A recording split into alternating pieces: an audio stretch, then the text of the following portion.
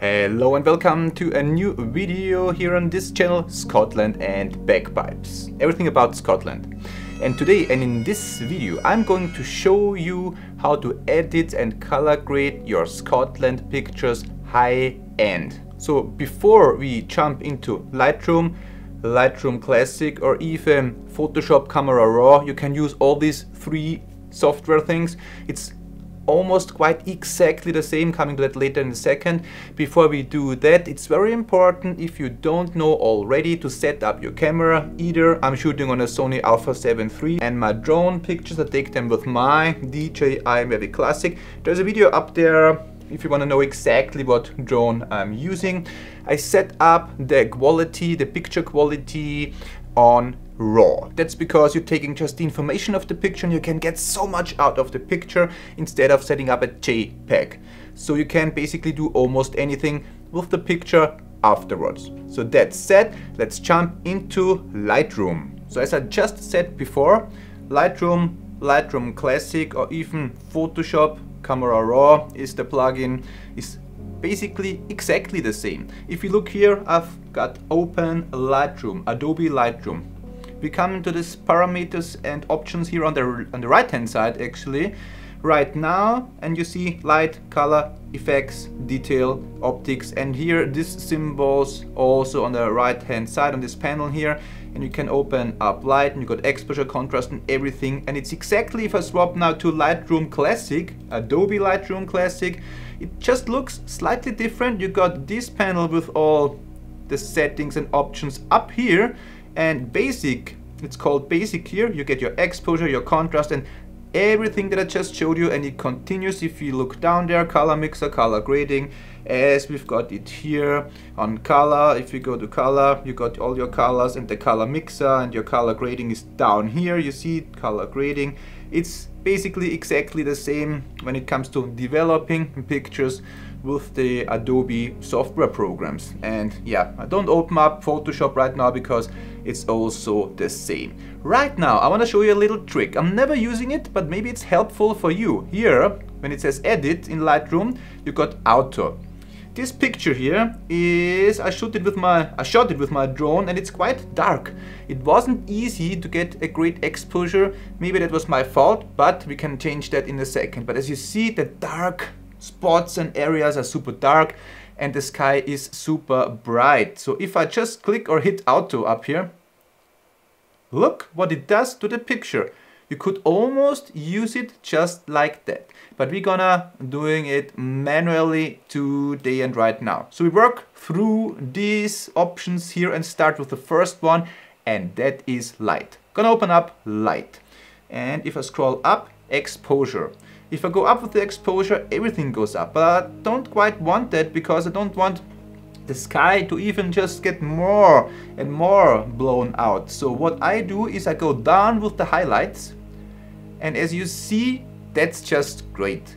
The sky becomes almost perfect and the shadows, that means the dark spots and areas, that's the next one here. I'm gonna drag that up and see what that does to the picture. It's almost that what the auto thing um, before I just did. So the whites I can go slightly to the left because that's the sky and the clouds as well. It's gonna see what that does and that's very good for me and I love it just like that. The blacks is also the dark things in the picture. If I go to the left, it gets darker, the blacks, and if I go to the right, it's brighter. Just go slightly plus 9 here to the right. If I go down, I could do similar things to the curves here. These are the dark spots and these are the highlights. If I just drag this one here down, it gets more dark. And if I just drag it slightly up and I leave it like this, the dark spots, they get a little bit brighter. So we go down to the next one, which is color.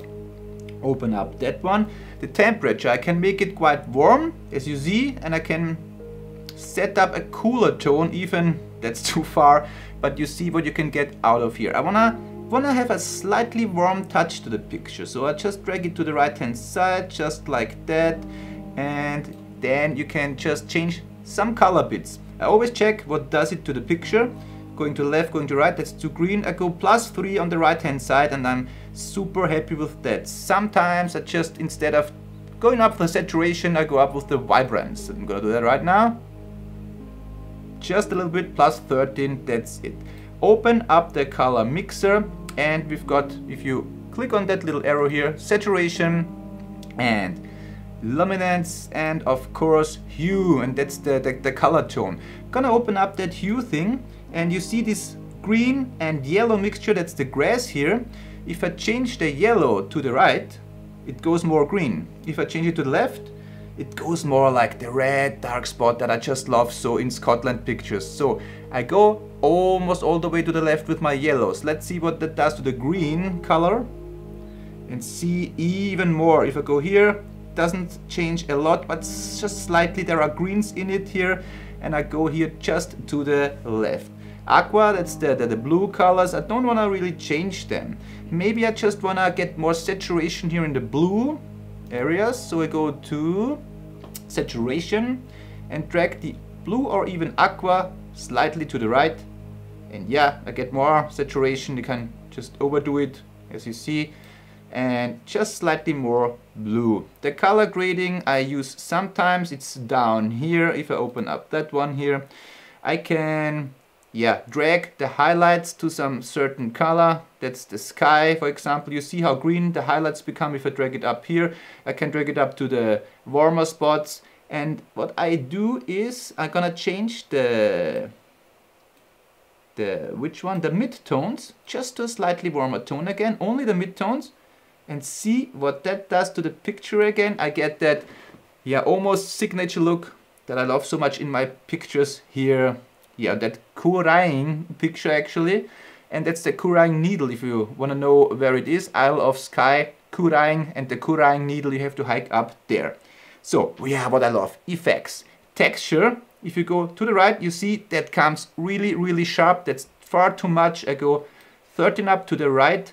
And with the clarity, it's almost similar. If you go to the right, see and look at that, it's not, not really nice. So you can go like this and that's too weak and it looks too wishy-washy. So I go slightly to the right plus 4 and I love it just like that. Dehaze I don't know how to translate that. Usually I'm not using the English language because I'm from Austria but I show you what it does.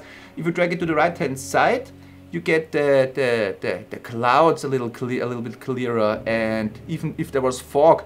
But if I drag it to the left it looks foggier and misty but I don't want that. I drag also to the right and that makes the picture sharper again and plus 6 is great. If there was something in the middle, I would add a little vignette because it highlights the thing in the middle which there is a little person but I also wanna see what's going on on the left side of the picture and the right hand side of the picture. So most of the time I use it but not right now so gonna drag that back or if I double click all these things here it jumps back to zero. Just hit the little circle, double click and it goes back. We don't want to add grain at all. Detail, do I need to add, add detail? No, we did that already with the effects here. Don't need that, close that again. And then we have optics, but we don't need that. There's just one last thing that I want to do to this picture because the needle for me is just too dark. And now on the right hand side on this panel, something comes into play. It's the thing down here, masking. If I hit that one, I choose the radial gradients. And it's just you drag, you hit your mouse and you drag some, yes, continue what's going on here. So you can, you can adjust that afterwards if you hit that little circles just around the needle. And what it does, I'll show you in a second, it just chooses the area in the circle. That's it. Mm, a little bit more to the right. That's great.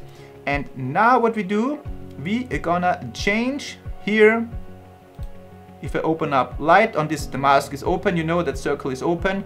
The shadows and the blacks, just a little bit to the right. See how just almost perfectly I can lighten up that needle.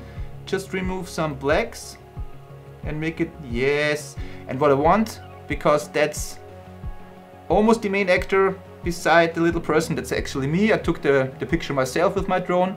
What I want to do is effects and I make it even sharper. So clarity to the right, let's say plus 17, texture to the right, plus 10, dehaze a little bit and I'm super happy with the picture how it looks I love it and maybe I add go back to this on the right hand side to the normal settings here. So we got that mask layer with the circle now applied. And I go back to the, the effects and add a little vignette. So it comes a little bit slightly darker. See what that does? It makes it just a little bit more appealing. And basically that's it. What you can do down here you can look how it looks looked before and what you can take out of a raw picture. At the beginning of the video I said that I only shoot in RAW and you, you couldn't do that with a JPEG file. So see, even if I did not expose perfectly, the picture now is super, super lovely and beautiful. I love it so much.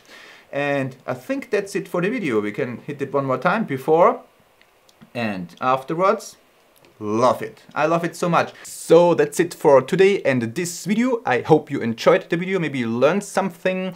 If you liked the video, so just leave a comment or subscribe to the channel Scotland and Bagpipes, everything about Scotland. And if you want more tutorials like this one here, also write it down there in the comments. That's it. So see you in the next one and bye.